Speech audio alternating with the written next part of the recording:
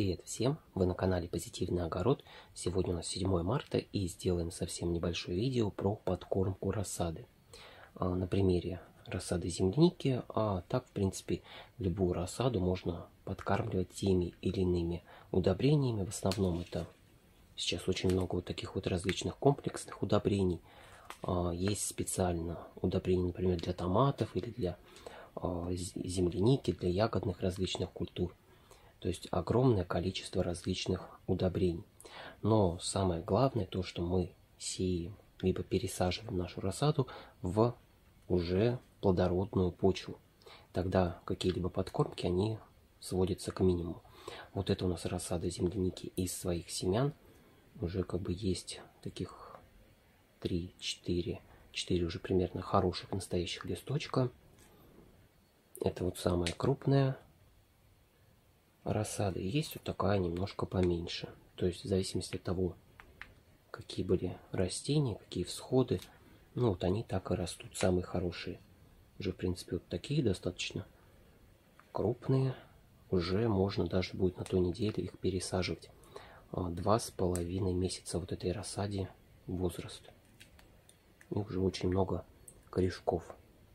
Практически вся вот эта емкость Стаканчик 200 мл заполнен корнями.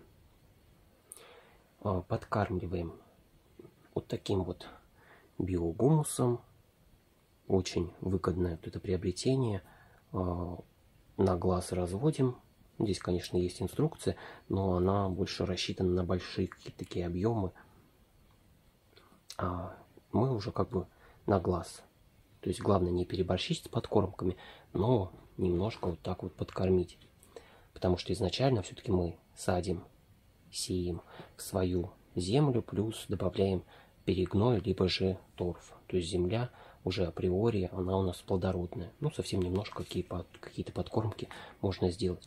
Вот такое тоже есть удобрение у нас а, для рассады. И, в принципе, перекись водорода.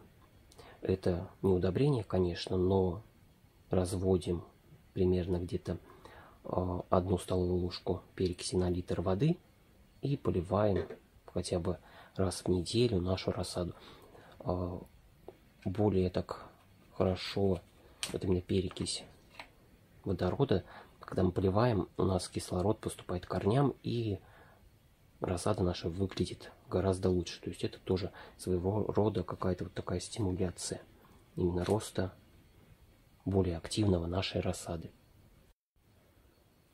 Подкармливать, конечно, можно и нужно, но так как рассада у нас довольно-таки маленькая еще, и какие-то большие объемы именно подкормок ей не нужны.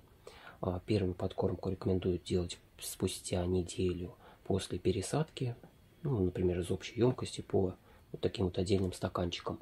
И затем, ну, тоже буквально-таки а, через неделю, либо через две уже осуществлять еще небольшую совсем подкормку. То есть, например, здесь у нас рассчитано 15 граммов на 10 литров воды. То есть буквально-таки какую-то небольшую щепотку берем и разводим вот в небольшом таком количестве жидкости. Чтобы нам, главное, не перекормить. И то же самое с биогумусом. Делаем совсем такой редкий раствор и поливаем нашу рассаду понемногу. Своего рода вот такая небольшая подкормка для ее именно хорошего развития. Ну и сейчас подкормим нашу землянику биогумусом.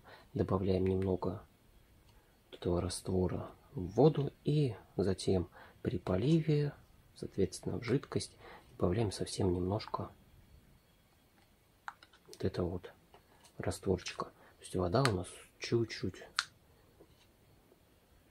такая чуть коричневая. То есть совсем понемножку. И вот так вот поливаем наше растение таким вот удобрением.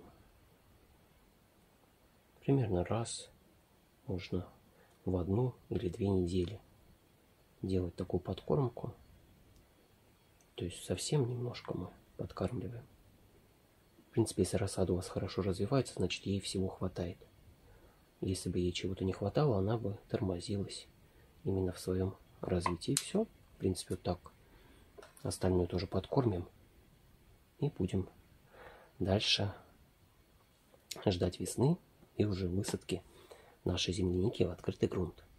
Ну а всем тем, кому данное видео было полезным, подписывайтесь на наш канал, делитесь этим видео с друзьями, заходите почаще в гости и пока-пока. До новых встреч. Всем самого-самого наилучшего.